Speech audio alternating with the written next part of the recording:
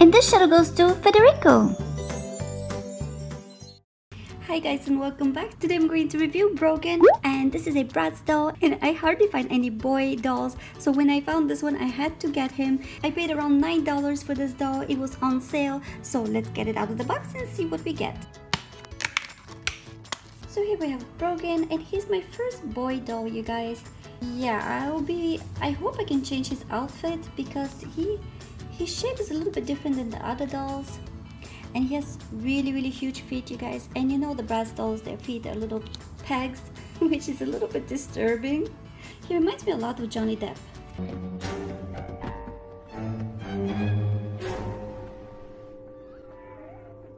He's wearing his leather jacket and his pirate whoa you guys his hair is very very very hard.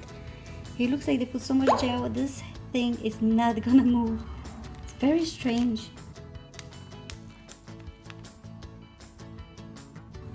So he's Brogan with his cool little mask. Even with the mask on, you can tell he's a handsome boy. Yeah, I like his mask and his outfit is pretty cool. I don't know if he'll fit any other doll's clothing because he looks kind of big. But I will give it a try when I buy some more male dolls. His arms do not bend, but he needs to bend, so he can actually sit. If you guys enjoyed today's review, please give us a big thumbs up and make sure you subscribe for more videos like this. Thank you for watching and we'll see you next time. Bye!